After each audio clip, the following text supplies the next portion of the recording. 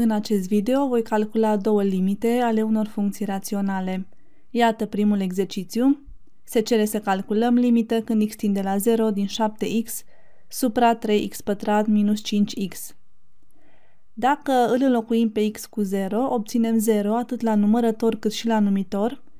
Prin urmare, suntem în cazul de nedeterminare 0 pe 0. Pentru a elimina această situație, vom simplifica fracția cu x – pentru început vom da factor comun pe x la numitor și obținem limită când x tinde la 0 din 7x supra x pe lângă 3x minus 5. Se simplifică x și rămâne limită când x tinde la 0 din 7 supra 3x minus 5.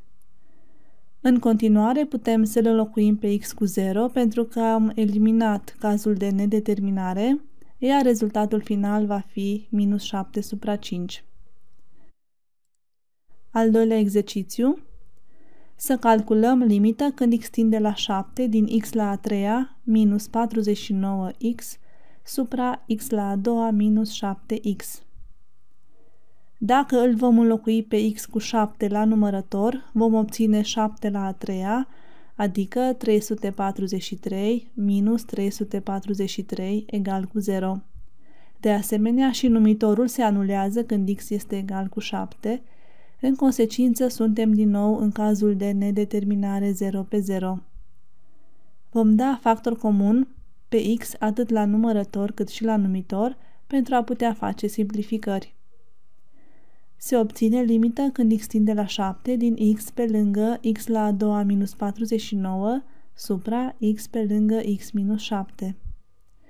Se simplifică x și obținem limita când x tinde la 7 din x la a doua minus 49 supra x minus 7. În continuare avem tot caz de nedeterminare 0 pe 0 și vom descompune numărătorul x la a doua minus 49 în factori folosind formula a la a doua minus b la a doua egal cu a plus b pe lângă a minus b. În consecință, x la a doua minus 49 va fi egal cu x plus 7 pe lângă x minus 7.